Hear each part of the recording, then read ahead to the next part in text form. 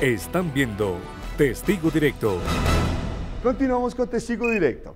Unas mujeres con belleza exótica y una pasarela bien particular encima de las vitrinas es lo que encontramos en el Gran San, este popular centro comercial en Bogotá, donde mujeres con cuerpos exuberantes muestran la tendencia de moda y que sin ser modelos estrellas, pelean por demostrar que sí tienen 90, 60, 90. La siguiente es una historia de nuestro cronista callejero, Raúl Arevalo.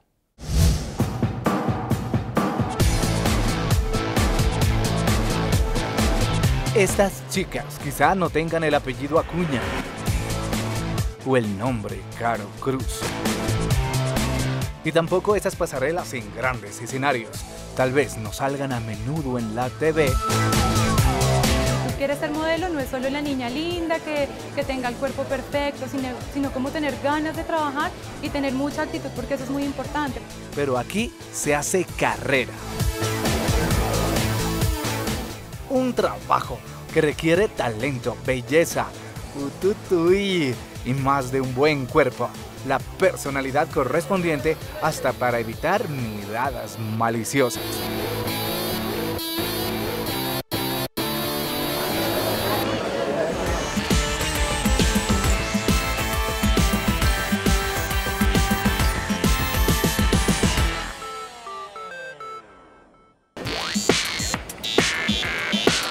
Ellas desafían el 90, 60, 90. También las alturas en estas improvisadas pasarelas. Se visten a la moda, invitan a los clientes, llaman la atención, mandan picos y promocionan el producto que llaman. Son jeans americanos, quiero invitar a que conozcas nuestra nueva marca allí. Entonces el protocolo ya es eh, trabajar con diferentes marcas, de pronto entregar publicidad. Te invito a que conozcas nuestra nueva marca de jeans, son jeans americanos.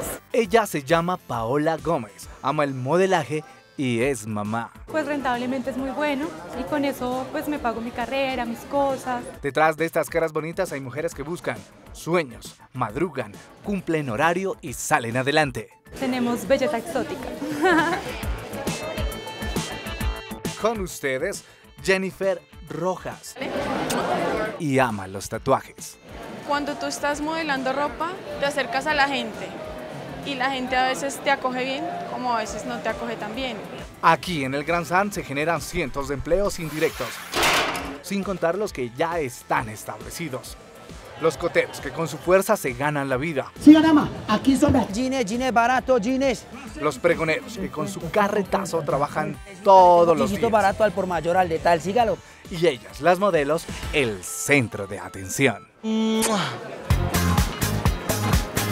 Ella se llama Luisa y su pasarela es este mostrador con más de metro y medio de altura. Necesita una preparación para todo, para expresarse, para hablar, para desfilar, para todo se necesita. O sea, esto parece ser fácil, pero no es tan fácil. Ser modelo de centro comercial no es fácil, pero toca aguantar. Aquí ellas dan los primeros pasos de su carrera profesional. Hay unas personas que nosotros pues cobramos precisamente lo que estudiamos, la preparación, todo. En cambio pues las niñas que no, eso no lo valoran. Esto hace parte del rebusque, de las actividades informales, modelando la ropa que alguna vez usted ha comprado. Las modelos en el Gran San son un componente especial en el componente moda. Es la activación en vivo de la muestra de una marca, de la muestra de un jean, de la muestra de una camisa. Recobran vida los maniquís en el Gran San en todo momento porque tenemos estas niñas que vienen a trabajar al Gran San a mostrar el producto y es una innovación. Bueno, el perfil básicamente es la actitud, totalmente.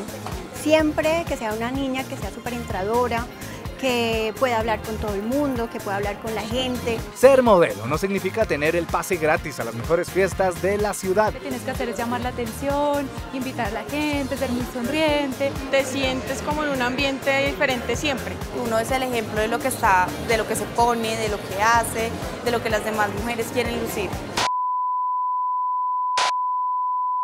No tengo hijos, no tengo esposo, nada. No tengo ni novio. Esto requiere trabajo, esfuerzo, al igual que largas horas de preparación en una industria muy competitiva.